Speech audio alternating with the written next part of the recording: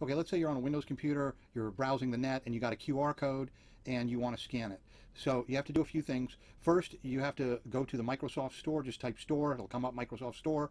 Go to Search, type QR code, and it'll pull up the QR code for Windows 10.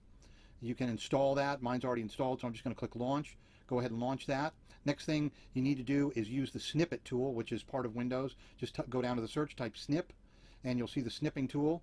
Click on the snipping tool, and you're going to click on New, and you're going to select the QR code that's on the web page. Then save it anywhere. You can save it to the desktop or wherever.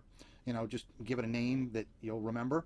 Once you've saved it, you go back to your QR code application and you go to Read QR Code from File.